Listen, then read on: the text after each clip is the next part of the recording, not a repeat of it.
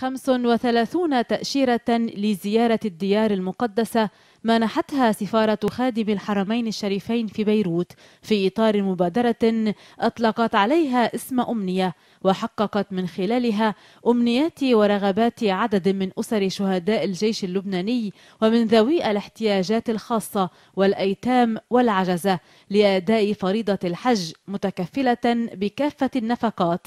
المبادرة شملت أيضا 15 موظفا لبنانيا عملوا في السفارة السعودية قبل أن يحالوا إلى التقاعد.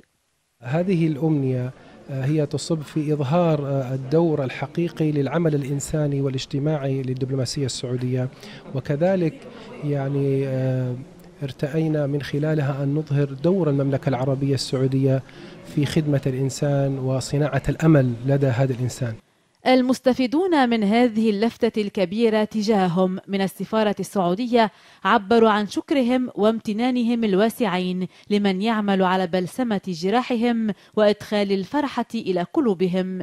الله يبارك بالمملكة العربية السعودية هي اللي ساهمت بهذه المبادرة ويبارك فيها وكل من سعى ودبر لهذه الرحلة لأنه يعني بتعرفي أنت بتخفف شوي من الآلام ومن القهر اللي دقناه. ولا هني وقت اللي حكوا معنا إنه قالوا لنا أنتم بدكم نحن مقدمينكم على الحج كثير انبسطنا كانت فرحة كبيرة كثير كثير فرحنا يا والله. الله يجزيهم كل الخير. الله يبارك فيهم. مبادرة أمنية تؤكد على الاهتمام السعودي الكبير بضيوف الرحمن وتسهيل كل الإجراءات أمامهم لأداء فريضة الحج بكل يسر وسهولة. هي مبادرة إنسانية جديدة تضاف إلى سلسلة خطوات بعضها أنجز وبعضها الآخر يحضر تأكيدا على دور المملكة في خدمة الإنسانية.